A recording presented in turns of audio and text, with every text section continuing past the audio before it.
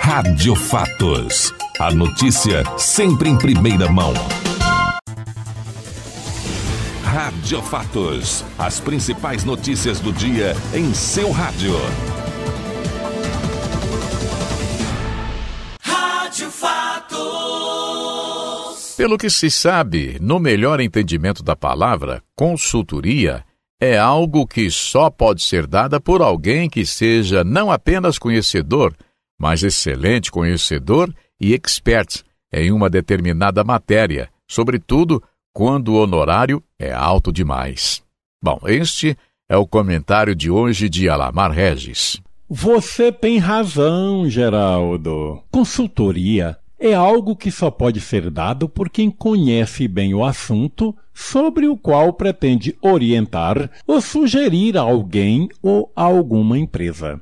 O sistema político, no exercício do cinismo, do descaramento e da cara de pau, a procura de justificativas para maquiar as milionárias quantias que rolam no campo da corrupção desenfreada praticada no Brasil nos últimos anos, resolveu inventar um nome para contabilizar as operações, optando para chamar a maioria delas de consultoria.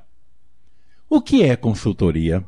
Quando uma empresa recorre a uma consultoria sobre um determinado assunto, é porque os seus elementos incumbidos de resolver o problema em questão não dispõem de conhecimentos suficientes para resolvê-los. Por exemplo, uma grande empresa que está diante de problemas de ordem jurídica contrata consultoria de um grande escritório de advogados, mas tem que ser advogados bons, expert, porque ela está disposta a pagar bem por lidar com grandes montantes e não pode nem pensar em ter insucesso na solução dos problemas jurídicos referidos. Uma empresa de construção civil, mesmo que tenha engenheiros, quase todas têm, obviamente, tem que procurar consultoria em uma excelente empresa onde tem excelentes engenheiros outros para o seu melhor sucesso. Quanto mais qualificada for a empresa e os seus profissionais especializados no fim a que ela se destina, mais altos são os seus honorários, absolutamente justificáveis. Imaginem um grupo de médicos cirurgiões plásticos de uma determinada região desejando ter a visita do Dr. Ivo Pitangui para fazer uma palestra e ministrar um seminário naquela cidade. Não precisa nem questionar, né?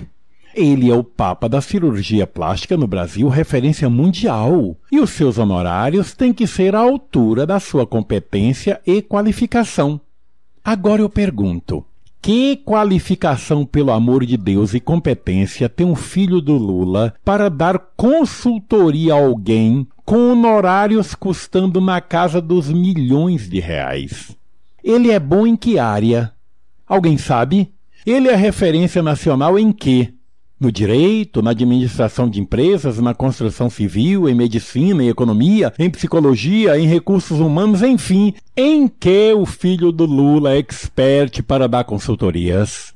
E agora, para justificar essa dinheirama que o fez milionário, vem com essa conversa fiada de consultoria? É muita cara de pau desses advogados que o defendem. É muito cinismo e é subestimar demais a inteligência do povo brasileiro, já que foi divulgado que os filhos do Lula nunca foram dedicados a estudar, obviamente seguindo o exemplo do pai. A mesma pergunta é feita acerca dessas tais palestras milionárias que dizem que o Lula anda fazendo pelo mundo afora. Quais as formações que o Lula tem, gente, para ministrar palestras tão caras por aí, a ponto de exigir hotel cinco estrelas e um nível de mordomia elevado, como dizem que ele exige quando é contratado.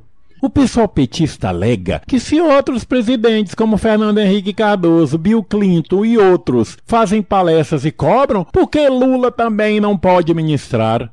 É muita idiotia e imbecilidade querer comparar os conhecimentos do Lula com o nível de Fernando Henrique e de Bill Clinton.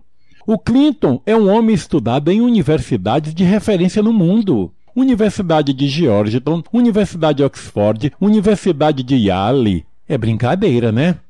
O Fernando Henrique é um sociólogo, professor universitário, pesquisador poliglota e também respeitado no mundo inteiro pela sua cultura. Quando o mensalão, assim como a Operação Lava Jato, descobriram a gigantesca fortuna do José Disseu, os mais de 30 milhões de reais que o seu escritório recebeu só da Petrobras, fora os outros casos, disseram que foram honorários de consultoria. Só besta para acreditar.